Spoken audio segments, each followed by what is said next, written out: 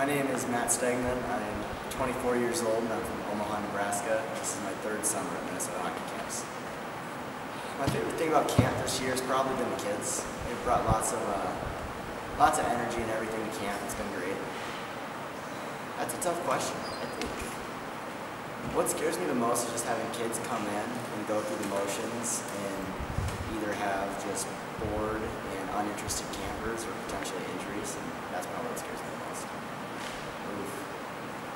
You know, tendency says Loudon Pizza would be the way to go, but I think versatility wise, we're going to go fruit smoothies because you can always add a whole bunch of different stuff to it and get all the nutrients in there. I'd be any cartoon character. I'll probably be Otto Rocket, just roll around on a skateboard and surfboard all the time. He seemed to never be in school and had super cool parents and super cool friends. Zero responsibility, all the fun. You know, if I could draft one counselor first overall, Miller. Although the size and variables might not all be there, which they are by the way, just the charisma and leadership he would bring to the locker room, he'd be a true building block to start my franchise around. You know, my favorite holiday to dress up for is probably St. Patrick's Day.